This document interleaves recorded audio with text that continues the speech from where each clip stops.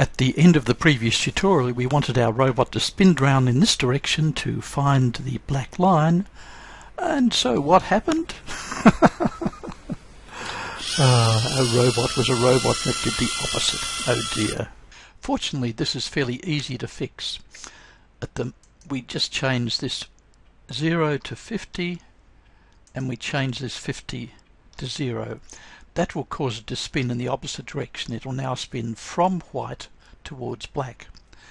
What we want down here is we're in the black and we want to um, spin towards white, which is the opposite. So we'll need another of these tank commands down here. We'll set it up the same way as this.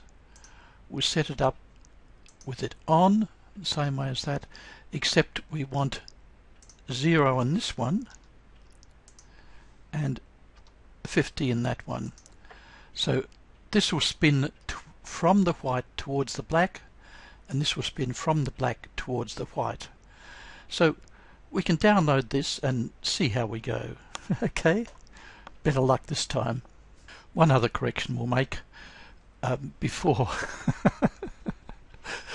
before we download. You'll notice that um, Lego is uh, saying, hey, hey, hey, um, we've got the light sensor in slot 3. It's actually in slot 4. Okay, so we'll click on that. There, and our little exclamation mark is gone. So um, thank you, Lego. okay, right. And we'll download that. Well, let's see. Ah, it follows a straight line. Well, that's a jolly good start. Good. Getting YayaBot to edge follow in a straight line is a very good achievement. However, it'd be worth trying on a curve. An example of a curve is the Australian RoboCup Rescue course, and let's try YayaBot on that.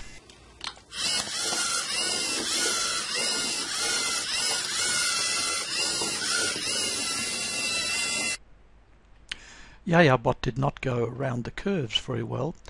Uh, there are a couple of reasons for that. Uh, firstly, YayaBot's a good shape for a sumo robot, but not quite so good for a rescue robot going around curves. But it still should be able to. Uh, we'll make a couple of adjustments. I've checked the color sensor readings. Um, black is 11 and the uh, white is 78, which means we'd adjust this one to 45. And we'll also, instead of having zero here, we'll have a, a small kickback of um, minus 15. And so when we go around the corner, uh, this will be going forward and this will be going back. It'll give us a bit of a sharper turn. And um, we'll download that and see how we go. Well, there's a good start. It's not oscillating quite as much as it did before.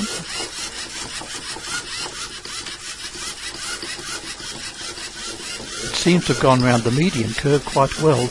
These curves coming up are the toughest on the Australian Rescue course. And, oh, very good. Very good, YayaBot.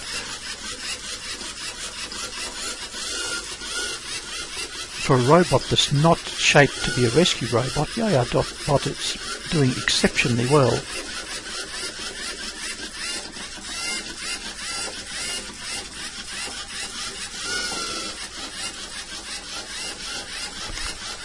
Now this is YayaBot's an edge following robot. Uh, we can get slightly faster speeds around here with two light sensors, but we'll have something about that in a later lesson on line following.